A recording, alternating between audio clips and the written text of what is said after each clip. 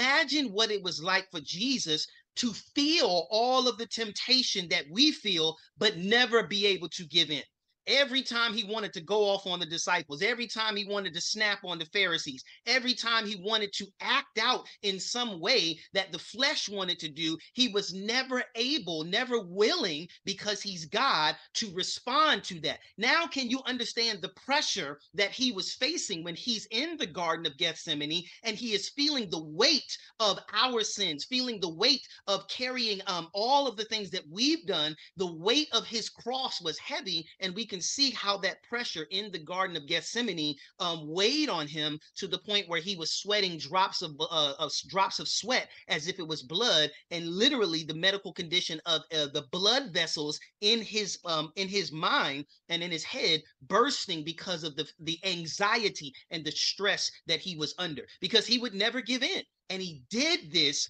for us.